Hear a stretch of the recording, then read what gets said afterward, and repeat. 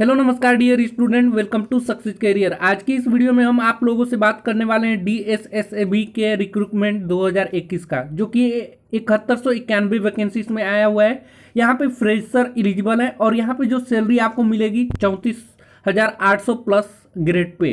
ठीक है, और अदर अलाउंस मिलेगा। यहाँ पे मेल और फीमेल दोनों एलिजिबल है। तो इस वीडियो को अंत तक बने रहेगा सारी इन्फॉर्मेशन मैं इस वीडियो में आपको देने वाला हूँ। जैसे कि अप्लीकेशन कब से स्टार्ट होगा क्लोजिंग डेट कब से है क्वालिफिकेशन क्या चाहिए फ़ीस कितनी लगेगी सिलेक्शन मेथड क्या होगा एग्ज़ाम की स्कीम क्या होगी, और सिलेबस क्या होगा। सारी चीज़ें हम डिस्कस करेंगे इस वीडियो में। तो वीडियो को अंत तक बने रहेगा और चैनल पर जितने लोग पहली बार हैं तो चैनल को सब्सक्राइब करें कि आने वाली सभी नोटिफिकेशन चैनल के माध्यम से आपको मिलती रहे। देख सकते हैं आप ऑफिशियल नोटिफिकेशन डीएसएसबी यानी कि Delhi subordinate service selection board की तरफ़ से आया है, जिसकी ऑफिशियल वेबसाइट है, यहाँ पे दिया गया है। ये लिंक आपको डिस्क्रिप्शन बॉक्स में मिल जाएगा। यहाँ पे वैकेंसी की नोटिस जो है एडवर्टाइजमेंट नंबर ज़ीरो दो स्लैश इक्कीस है।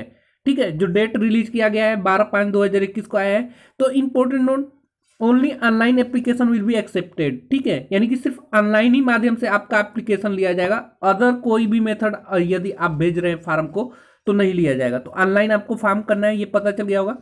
अब देखिए ऑनलाइन होगा तो ऑनलाइन ओपनिंग डेट क्या है? तो 25 पाँच 2021 से यानी कि 25 मई 2021 से आपका फॉर्म भरना स्टार्ट हो जाएगा।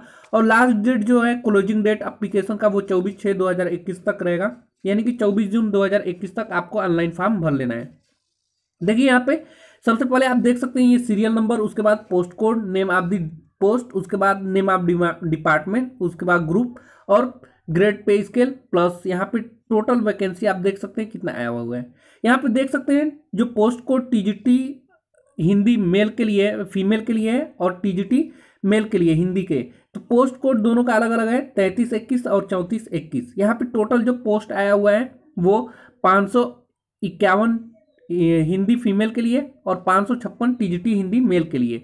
इसी तरह आप देख सकते हैं तीसरे नंबर, सीरियल नंबर पे टीजीटी यानी कि ट्रेंड ग्रेजुएट टीचर, जो कि नेचुरल साइंस मेल के लिए यहाँ पे एक हज़ार चालीस पोस्ट आया हुआ है। यहाँ पे टीजीटी नेचुरल साइंस फीमेल के लिए, जो कि आठ सौ चौबीस पोस्ट आया हुआ है। उसी प्रकार टीजीटी मैथ फीमेल के लिए, जो कि यहाँ पे ग्यारह सौ सड़सठ पोस्ट आया हुआ है, और टीजीटी मैथ मेल के लिए नौ सौ अंठानवे पोस्ट आया हुआ है।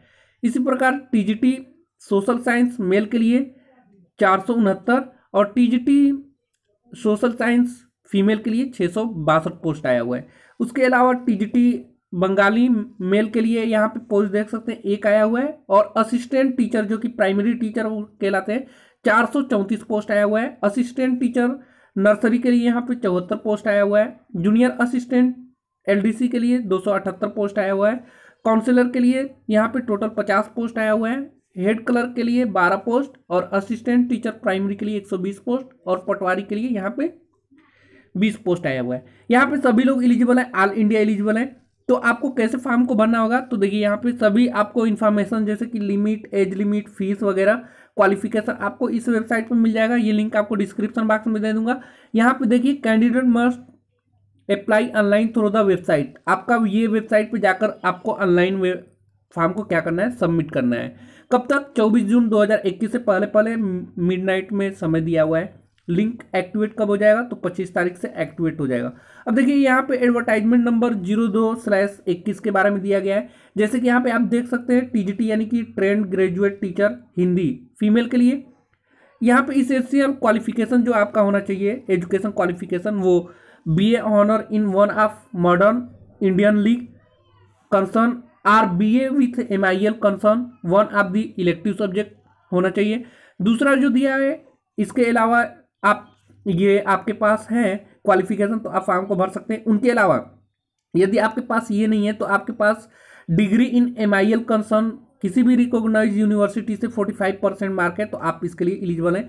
अथवा ये भी नहीं है तो आप for appointment as Hindi teacher Sahitya Ratna, आप Hindi Sahitya Sammelan Prayag having secure at forty five percent mark है तो आप एलिजिबल हैं। ये तो मेल के लिए था सॉरी फीमेल के लिए था। अब मेल के लिए देख लीजिए तो मेल के लिए भी सेम यही रहने वाला है। यहाँ पे पे स्केल देख सकते हैं तिरानवे सौ से लेकर चौंतीस हज़ार आठ सौ रहेगा प्लस ग्रेड पे छियालीस सौ रहेगा, ठीक है?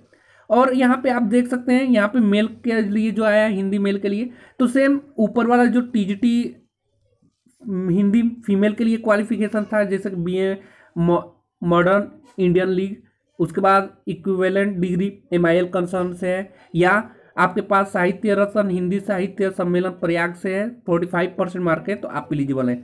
तो ये टीजीटी के लिए एलिजिबिलिटी थी, सभी टीजीटी के लिए यही होना चाहिए। देखिए, यहाँ पे टीजीटी नेचुरल साइंस मेल के लिए जो यहाँ पे क्वालिफिकेशन दिया हुआ bachelor degree honours pass forty five percent mark होना चाहिए। आपके पास इलेक्टिव सब्जेक्ट सब्जेक्ट में होना चाहिए इंग्लिश मैथमेटिक नेचुरल फिजिक्स या सोशल साइंस में कोई एक होना चाहिए। उसके बाद main subject TGT natural science का जो है shall be physics chemistry biology botany zoology या सोशल साइंस के लिए हिस्ट्री पॉलिटिकल साइंस या इकोनॉमिक बिज़नेस स्टडी सोशोलॉजी या जियोग्राफी या साइकोलॉजी है तो भी आप भर सकते हैं फार्म को। यहाँ पे आप देख सकते हैं एक्सपीरियंस किसी के लिए भी नील दिखाया गया है, यानी कि fresher also eligible for this post यहाँ पे एज आपका बत्तीस साल होना चाहिए। उसके अलावा यदि अधिक है तो एज रिलैक्सेशन भी आपको मिलेंगे कैटेगरी वाइज यहाँ पे आप देख सकते हैं trained graduate teacher natural science female के लिए। तो सेम ऊपर जो नेचुरल साइंस मेन का मेल का था, वही यहाँ पे भी क्वालिफिकेशन मांगा हुआ है सेम टू सेम उसके बाद आप आकर देख सकते हैं यहाँ पे trained graduate teacher maths female के लिए। तो यहाँ बैचलर डिग्री होना चाहिए, English, mathematics, natural physics, science, social science होना चाहिए। मेन सब्जेक्ट में आपका टीजीटी, नेचुरल साइंस या फिजिक्स साइंस है, या shall be physics chemistry biology botany zoology social science में आपका कोई एक सब्जेक्ट जैसे कि history, politics, science, economic, business study sociology या जियोग्राफी या साइकोलॉजी होना चाहिए, ठीक है? और आप आगे देख सकते हैं, आगे यहाँ पे जो वैकेंसी आई है, ये भी टी टीजीटी मैथ्स के लिए मेल के लिए। तो सेम ऊपर वाला जो क्वालिफिकेशन था, मेल के लिए भी वही है। उसके बाद आप देख सकते हैं सोशल साइंस के लिए। तो यहाँ भी बैचलर डिग्री होनी चाहिए इंग्लिश मैथमेटिक्स नेचुरल साइंस या सोशल साइंस में होना चाहिए।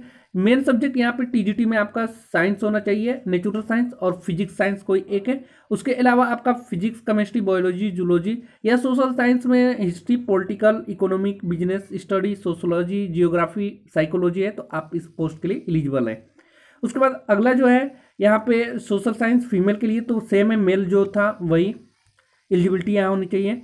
अगला देखिए, बंगाली के लिए तो यहाँ पे आपका B honour in one of modern Indian league में होना चाहिए, या B M I L concern one of the elective subject होना चाहिए, जो कि फोर्टी फाइव परसेंट मार्क होना चाहिए, ठीक है? या आपके पास इक्विवेलेंट ओरिएंटेड डिग्री होना चाहिए, जो कि M I L concern recognise university से फोर्टी फाइव परसेंट मार्क होना चाहिए तो भी आप एलिजिबल हैं इस पोस्ट के लिए। अगला, आप देख सकते हैं असिस्टेंट टीचर के लिए, जो कि पोस्ट कोड बयालीस इक्कीस है। यहाँ पे असिस्टेंट टीचर नर्सरी के लिए यहाँ पे आपका senior secondary school class twelve होना चाहिए सर्टिफिकेट जो कि फोर्टी फाइव परसेंट मार्क से पास आउट होना चाहिए। उसके बाद आपका diploma certificate in nursery teacher education programme का होना चाहिए। उसके बाद मस्ट है pass Hindi in secondary level, यानी कि आपका जो क्लास ट्वेल्व में है, हिंदी लेवल पास होना चाहिए। तो आप असिस्टेंट टीचर नर्सरी के लिए एलिजिबल हैं। उसके अलावा यहाँ पे ग्रेड पे आप देख सकते हैं, बयालीस सौ ग्रेड पे प्लस चौंतीस हज़ार आठ सौ रुपये हैं। उसके अलावा आप यहाँ पे साउथ दिल्ली म्यूनिसिपल कॉरपोरेशन के लिए, जो यहाँ पे एजुकेशन क्वालिफिकेशन चाहिए, मेट्रिकुलेशन या सेकेंडरी स्कूल एग्ज़ाम किसी भी यूनिवर्सिटी से होना चाहिए। और आपके पास पैंतीस वर्ड पर मिनट और तीस वर्ड पर मिनट हिंदी में टाइपिंग होना चाहिए। पैंतीस वर्ड इंग्लिश में और तीस वर्ड पर मिनट हिंदी में कंप्यूटर पे टाइपिंग स्पीड होनी चाहिए। यहाँ पे आप देख सकते हैं, एज अठारह सत्ताईस साल प्लस, इसके अलावा आपको एज रिलैक्सेशन मिलेंगे। उसके अलावा आपको पोस्ट कोड चवालीस इक्कीस काउंसलर के लिए देख सकते हैं। यहाँ पे इसकी एलिजिबिलिटी क्वालिफिकेशन बैचलर डिग्री होनी चाहिए या post graduate diploma counselling psychology से होना चाहिए या one year experience of working clinical psychology से होना चाहिए। तो आप एलिजिबल हैं काउंसलर के पोस्ट के लिए। उसके बाद असिस्टेंट टीचर प्राइमरी के लिए। तो यहाँ पे सीनियर सेकेंडरी यानी कि twelve pass fifty percent mark में होना चाहिए और two years diploma in elementary education होना चाहिए आपके पास। या आपके पास सीनियर सेकेंडरी यानी कि इसके इक्विवेलेंट 45 परसेंट मार्क होना चाहिए। टू इयर्स का डिप्लोमा एलिमेंट्री एजुकेशन एनसीटी के द्वारा होना चाहिए तो आप इसके लिए एलिजिबल हैं। अगला पोस्ट जो आया हुआ है, ये हेड कलर के लिए है जो कि पोस्ट कोड छियालीस, इक्कीस है। यहाँ पे आप देख सकते हैं बैचलर डिग्री है, आपके पास कोई भी बैचलर डिग्री और कंप्यूटर प्रोफिशेंसी है तो आप हेड कलर के लिए एलिजिबल हैं फॉर्म को भर सकते हैं। उसके अलावा आपके पास एक्सपीरियंस सब में नील है, यानी कि फ्रेशर आल्सो एलिजिबल यहाँ पे आपको ऑनलाइन ही माध्यम से ऑनलाइन ही अप्लीकेशन भरना है। No other mode of application shall be accepted ये याद रखिएगा। आपको ऑनलाइन ये वाली वेबसाइट यानी कि W W dot D S S B online N I C dot in जिसका लिंक डिस्क्रिप्शन बॉक्स में मैं आपको दे दूँगा। यहाँ पे एग्जामिनेशन फ़ीस की बात करें तो सौ रुपये लगने वाला है, जो कि जनरल और ओबीसी को लगेगा। उसके अलावा आप यदि पीडब्ल्यूडी एक्स सर्विसमैन सी से हैं तो आपको एक रुपये भी फ़ीस नहीं पे करने होंगे। मोड ऑफ़ सिलेक्शन आपका वन टीयर या टू टीयर एग्ज़ाम के माध्यम से होगा। चलिए वन टीयर और टू टीयर की सिलेबस जो हम देख लेते हैं एनेक्सर एनेक्जेसर फाइव में। तो चलिए, यहाँ पे सिलेबस आप देख ही सकते हैं। जनरल अवेयरनेस है, जनरल इंटेलिजेंट रीजनिंग है, उसके बाद अर्थमेटिक, न्यूमेरिकल एबिलिटी है, हिंदी लैंग्वेज एंड कंप्रहेंसन है, इंग्लिश लैंग्वेज एंड कंप्रहेंसन है। ठीक है तो हिंदी इंग्लिश सब है। यहाँ पे आप इसका स्क्रीनशॉट ले सकते हैं, जो कि वन टीयर एग्ज़ाम के लिए है। ठीक है टीयर वन के लिए। सेक्शन बी यानी कि टीयर टू के लिए यहाँ पे आपका सिलेबस जो रहेगा, वो टीयर फ़र्स्ट का सबके लिए सेम रहेगा। टीयर टू में आप general intelligence reasoning quantity ability general awareness with emphasis history culture उसके बाद demography geography economic Delhi administrative setup government NCT of Delhi English language comprehension और कंप्यूटर प्रोफियंसी से होगा। पार्ट सेकेंड जो होगा, इसमें descriptive essay in English and letter writing से expansion of idea in English में होगा। एलिजिबिलिटी क्रिटेरिया आपका होना चाहिए। आपको नागरिक होना चाहिए इंडिया का। ये होना ही चाहिए। उसके बाद आपको चलिए यहाँ पे दिखाते हैं एज रिलैक्सेशन एस टी से है तो पाँच साल ओबीसी से तीन साल और पीडब्ल्यूडी है तो दस साल और पीडब्ल्यूडी प्लस एस टी है तो पंद्रह साल और पीडब्ल्यूडी ओबीसी है तो आपको तेरह साल का छूट यहाँ पे मिलने वाला है एज में।